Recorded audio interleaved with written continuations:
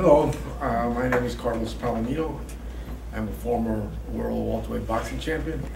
Uh, I was inducted into the International Boxing Hall of Fame in 2004.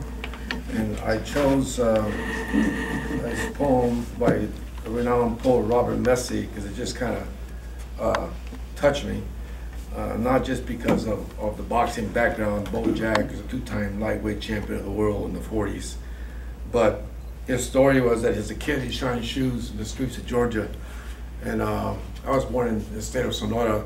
When I was seven years old, my father moved us to Tijuana, where he wanted to immigrate the family to the United States, and I spent three years on the streets of Tijuana shining shoes.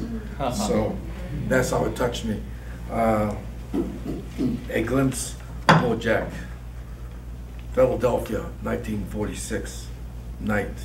My father and I are walking home along the pavement right by swirling snowflakes wherever the wind kicks up.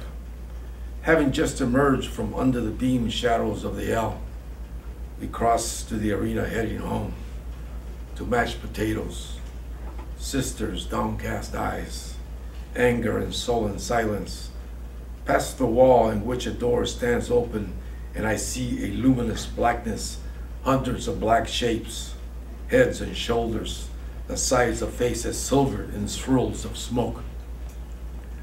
The embers of cigars glowing an instant and then blacking out. Far off in the black depth, the source of light, the canvas square of ring, circled by cliques, and a slim brown man who has a bigger man pinned on the ropes, mm-hmm. digging blood red gloves methodically like a man chopping wood into his ribs, the white skin splotching pink. Could I have seen at that distance the rocking and ripple of muscle under the brown skin? Or did I just imagine all of this? It couldn't have been much more than a second.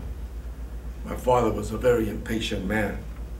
But there it is, as radiant as just now. My arm was jerked hard. I was dragged away, wondering desperately who the man was. Then, there he was on a poster, fist cocked, poised, smiling behind his gloves. I had forgotten the name of his opponent, but not his name.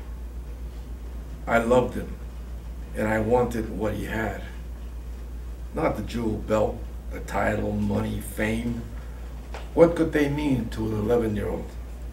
No, what I wanted was the pride and power, prowess and speed and grace, and even more, fearlessness in the face of bigger men. And that most beautiful of names, Beau Jack. Bojack.